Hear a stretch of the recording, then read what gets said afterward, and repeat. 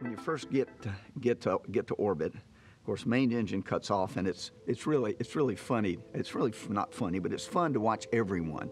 I think everyone takes whatever writing utensil he or she has and releases it, because it's it's I want to see something float. Yeah, I know I know I feel floaty, but now I want to see something float. And then as quickly as you can, uh, particularly a first-time flyer, it's it's to the window.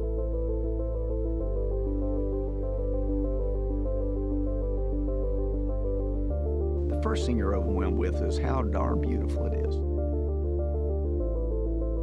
It's darn exciting. And so immediately you're trying to identify geographical features, identify places. You look and you see things like a massive thunderstorm, you know, a supercumulonimbus cloud coming up, and it really does come up at you. It is that tangible nature of what, what you're seeing that really does take your breath away. I worried my family when I was sending them notes because I started talking about the black velvet of deep space. You look in the sky here on the Earth, and you know it's like Milky Way or those thin clouds up there. What am I looking at?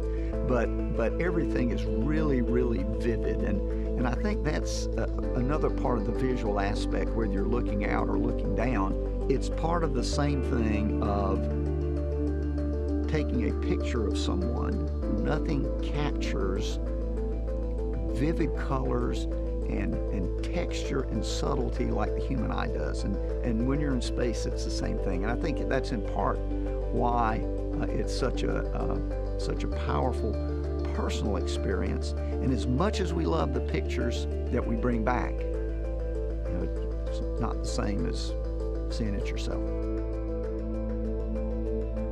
There's a certain serenity that comes. It's not just from what you see, it's from realizing a tremendous goal that you had. And, and that's something I, I felt right after I got on orbit the first time is, you know, heaven forbid, I could perish now. And, or, or I can never fly again, but nothing can take this experience away. I, I, I now, I own this experience. It is, it is mine forever.